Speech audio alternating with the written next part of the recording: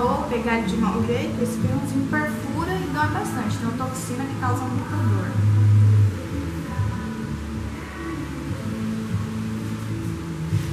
Essa no meio, mais escurinha, é a Joaninha.